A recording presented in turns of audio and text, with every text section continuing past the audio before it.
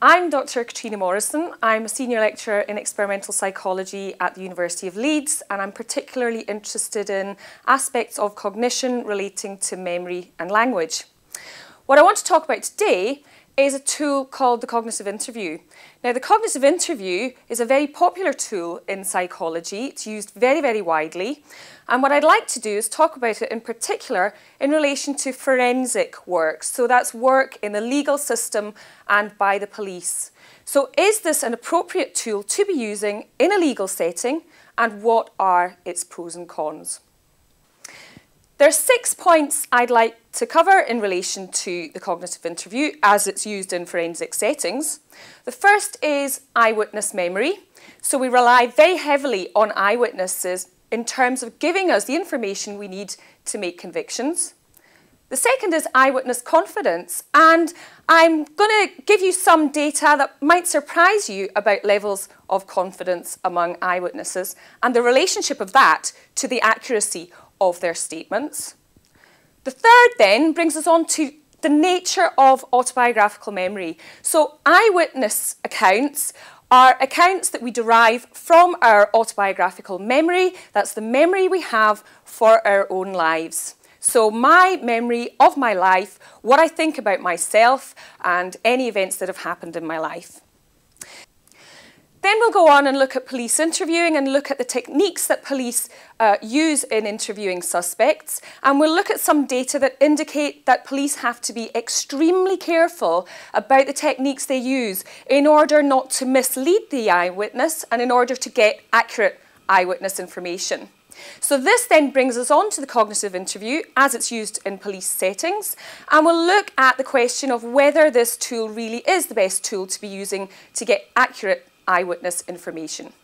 The first thing we want to consider then is eyewitness memory.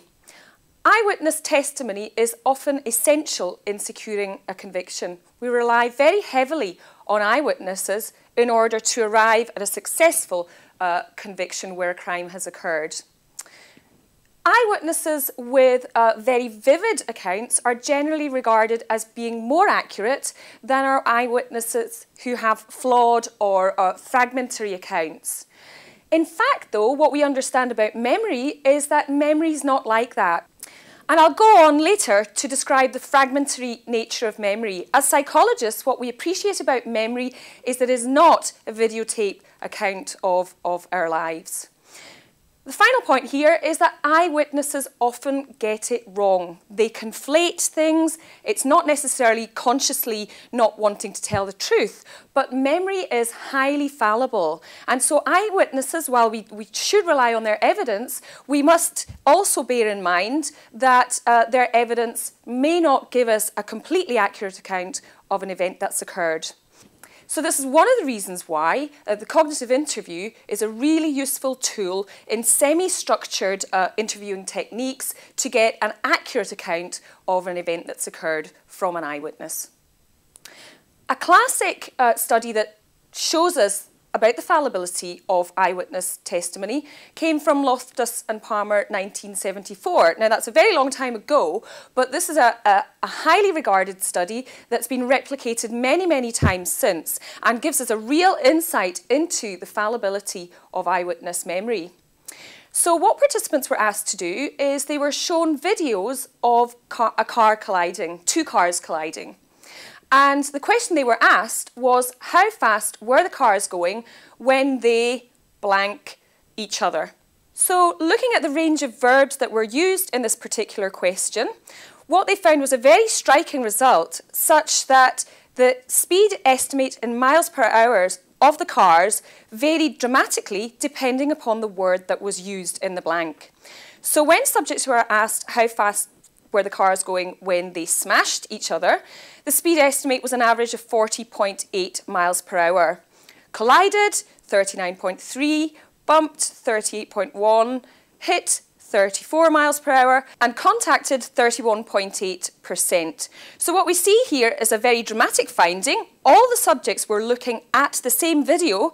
There was no difference in the actual speed of the cars. And yet, by using this very emotive language that suggested a high impact collision, the word smashed, then the estimate of participants is very much greater than it is when more neutral words are used. So what these data demonstrate is the way in which very simple alterations to the language that's used in questioning an eyewitness can have a very dramatic effect on the information that they give us. Another clever thing that Loftus and Palmer did was in a follow-up question, they changed just one tiny word in their question and got a, another dramatic finding. To some of the subjects, they asked the question, did you see a broken headlight? To other of the subjects, they asked the question, did you see the broken headlight? Now, the second question, did you see the broken headlight, suggests that there must have been a broken headlight at the scene of the accident. And what they found here was that when they asked the subjects, did you see a broken headlight, 7% of subjects said yes. In fact, there was no broken headlight in the scene at all. But when they asked the did you see the broken headlight question, then 18% of participants said yes, they did see the broken headlight.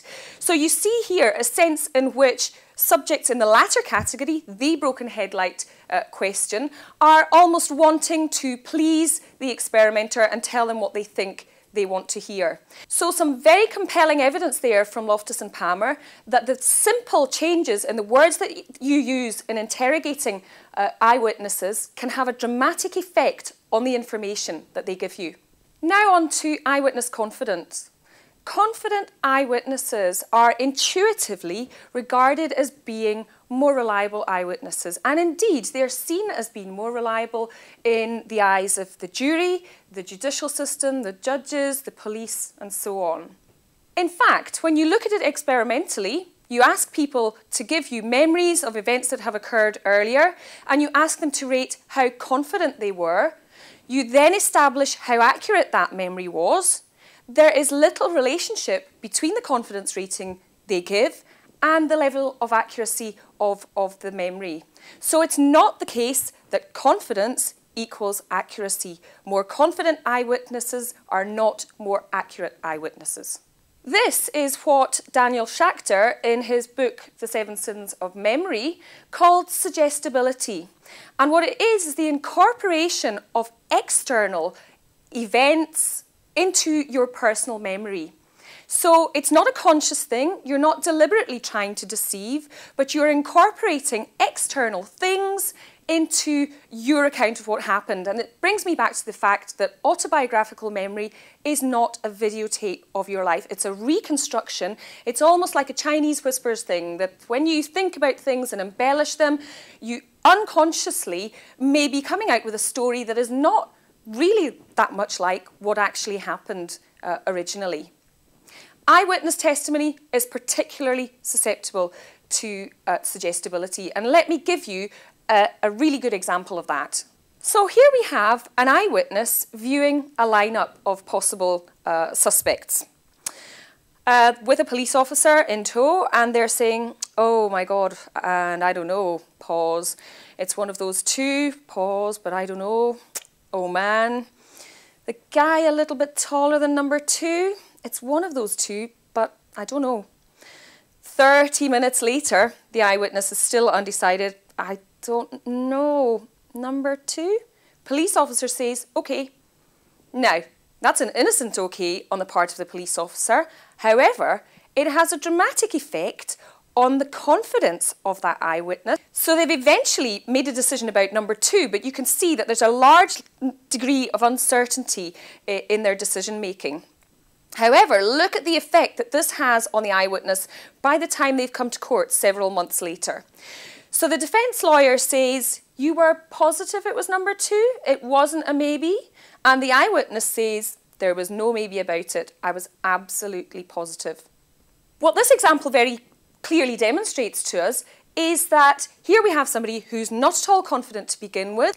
Due to suggestibility, they become extremely confident, and lo and behold, this memory is a very confident account of, of, of what happened. And in fact, to begin with, the eyewitness was not at all confident. So, back to my point confidence does not equal accuracy.